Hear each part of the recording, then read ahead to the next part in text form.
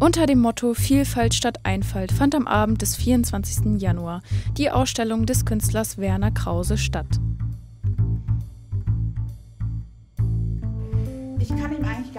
Zusammen mit der Münsteraner Künstlerin Ulrike Franz hießen sie die Gäste willkommen. Talente, die selbst seine Mutter nie vermutet hätte.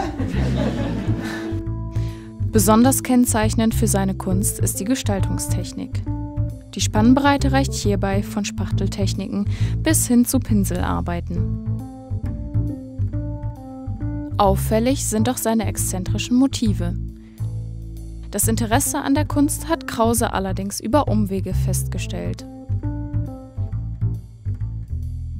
Ich hatte die Bekanntschaft gemacht von der Frau Franz und ja, da hatten wir auch über Kunst, über Malerei und dann habe ich aber die Malerei für mich völlig in Abrede gestellt.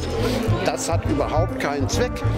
Das hat sie irgendwie nicht geglaubt und sagte, eigentlich hat jeder so ein bisschen, du kannst doch mal in die Malgruppe kommen und einfach mal gucken, wie dir das so gefällt. Das habe ich auch gemacht, habe dann aber nach ganz kurzer Zeit auch festgestellt, dass da doch ein gewisser Zauber von ausgeht. Alleine die Beschäftigung mit Leinwand, Farbe, so fing das dann langsam an. Das hat mich also gepackt.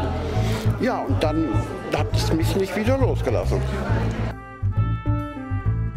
Die eindrucksvollen Ergebnisse der letzten zwei Jahre sind in dieser Ausstellung zu erkennen. Bis zum 22. April 2020 können die Werke im Bennehaus betrachtet werden.